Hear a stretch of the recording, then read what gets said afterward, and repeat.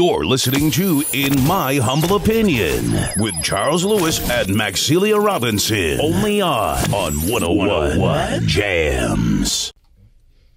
All right, family, time for our Ask Max question for the day. I'm just going to cut right to this one. Uh, the question for today is whether or not churches should be armed.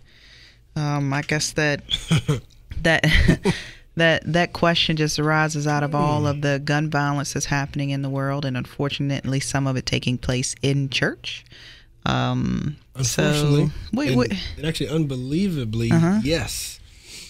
Um, there's one. If, if, if you don't mind, since you posed the question, Yep. let me sort of first give a little backdrop of some of the things that we're facing right now Okay. as a nation, so people would even know why that question was even posed to us. Mm-hmm.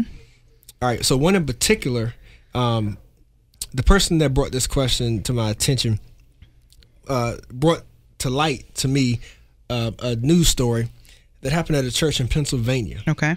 uh, I think it, I think it actually was April. Happened in April, and I, some reason people weren't aren't talking about it.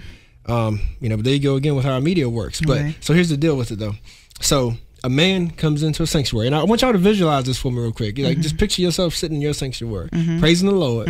You know, um, and a man walks in. You know, a stranger, man off the street. Um, maybe a little disheveled, you know, but he's coming into church. Not, not doesn't look like a threat. Um, sits on the front row.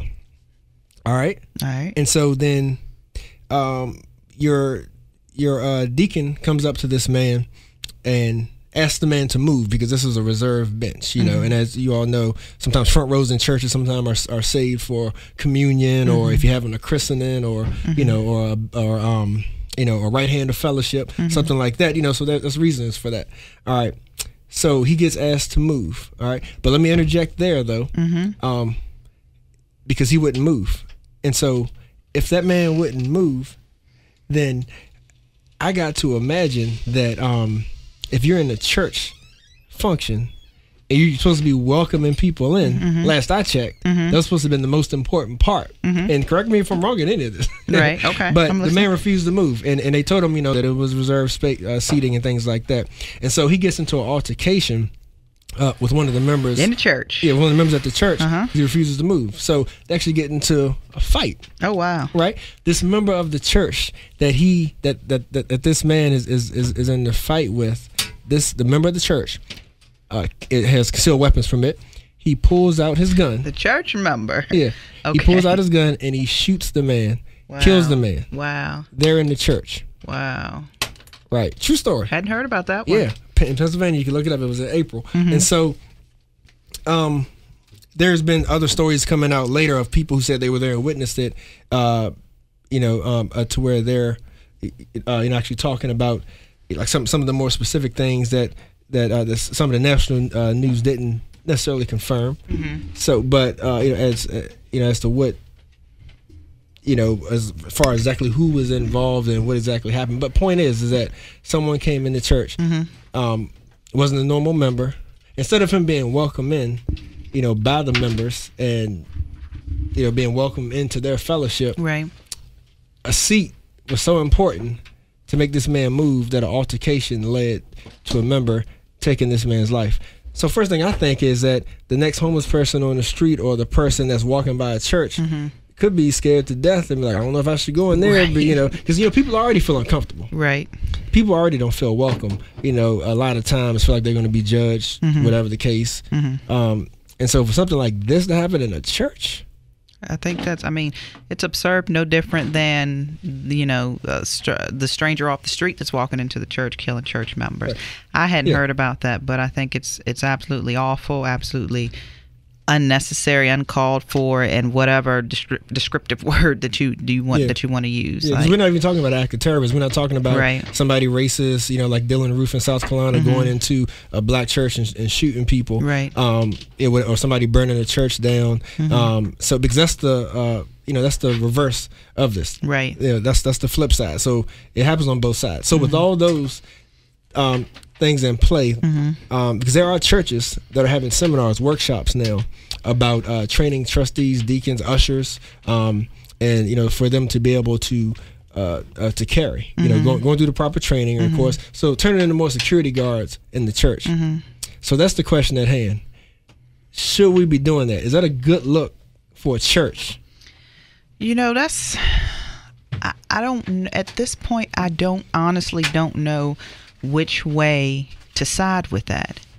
Um I know that there are people out there who believe that defending yourself is is sinful, you know?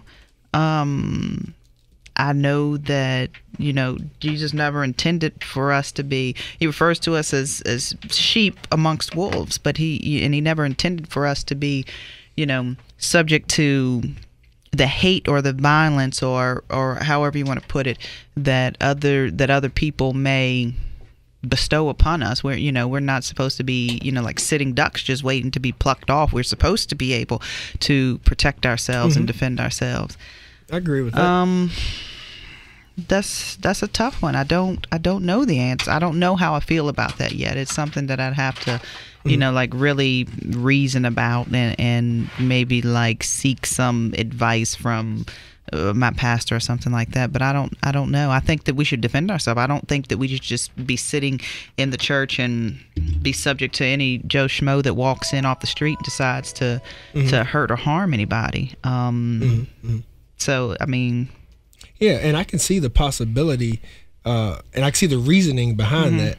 Um, you know, I wish that it wasn't that way. And I know with me, I feel safe in church. So I feel like if someone feels that there's a threat within their community, then your senses are heightened, and and you want to, you know, feel that extra and that added protection.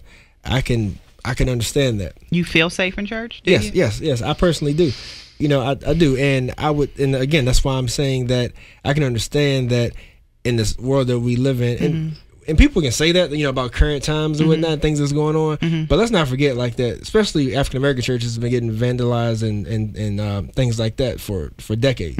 So you know, it's like so. So yes, I I, I do feel a, a- a sense of being in a comfort zone there.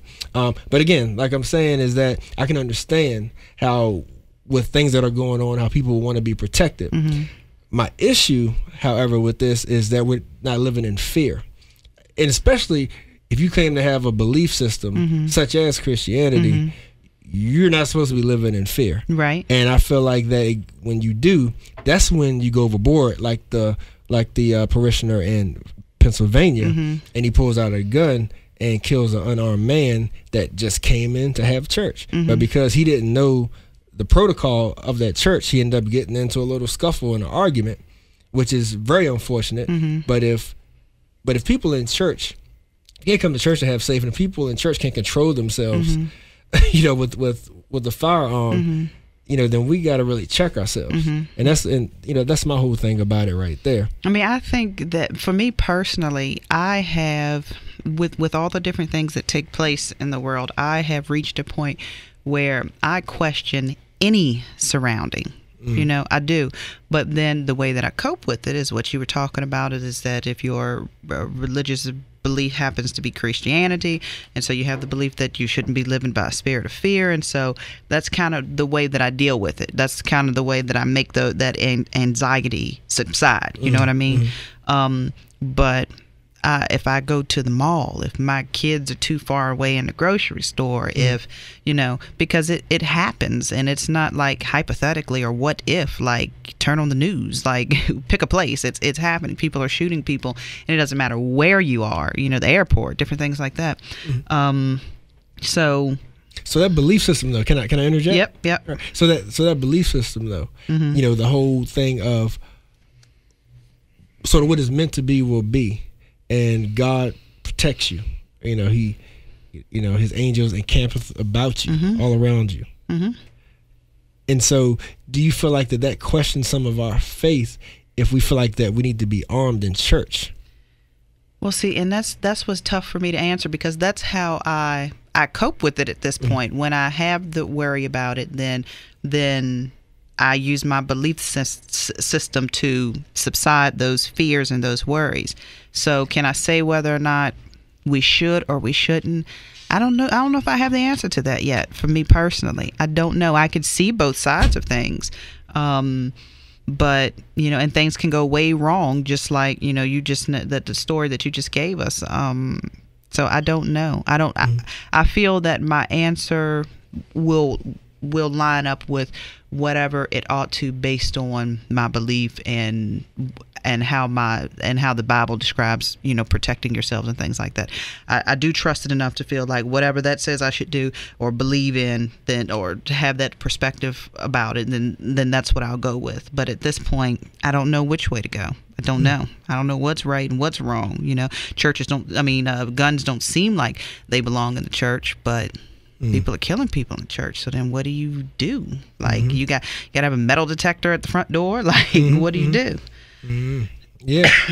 well, for times like these, right? You know, um, if God is uh is uh you know is, is omnipotent, all knowing, uh-huh. and uh, and fits every generation, then got to believe that we'll make the right choice. So what do you what do you think? Like you said, you feel safe in your church, but do you mm-hmm. think that guns belong there?